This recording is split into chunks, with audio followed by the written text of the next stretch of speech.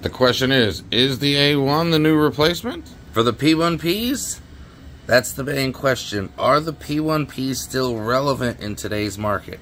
One of the big selling points for the new A1 is the new dynamic flow calibration.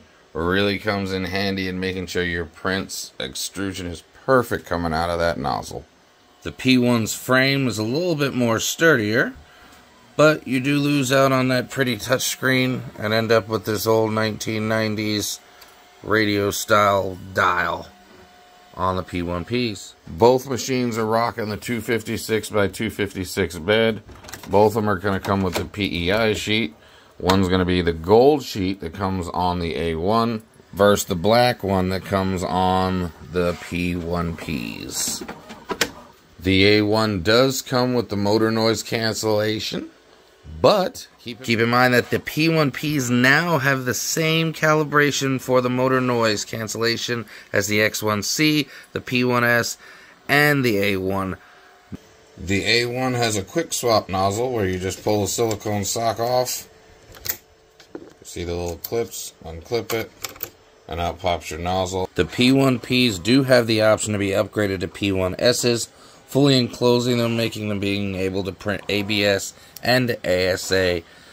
Unfortunately, the A1 is not ready to be enclosed for long periods of time. The motherboard cannot withstand all that excess heat for long periods of time per Bambu Lab. You can add the full AMS system to the P1Ps, but they do not work with the AMS lite system currently. The A1 comes with the AMS lite system, which takes less time to do filament swaps, uh, but still does poop just as much as the original AMS. Speaking of poop, the A1 likes to flick its poop. P1P likes to throw it down the poop chute and out the back. The A1 is going to come with all these extra PTFE tubes in order to put all four filament rolls into the tool head, plus the actual cable wire for power and data. The P1Ps don't come with cable change. You can print your own. Uh, they have just the PTFE tube and the one cable coming out. That's all you're going to have to worry about. If you do get the AMS system, you'll have to get the hub if you want to do more than one AMS. But the AMS itself will go through the back, through the back PTFE tube. Here's a side-by-side -side of the two nozzles. This one's going to be the nozzle for the uh, P1P, the P1S, and the X1C and this is going to be the nozzle for the A series of the Bambu A1 and the A1 Mini. Both machines come equipped with a nozzle wiper. That's what it sounds like on the A1.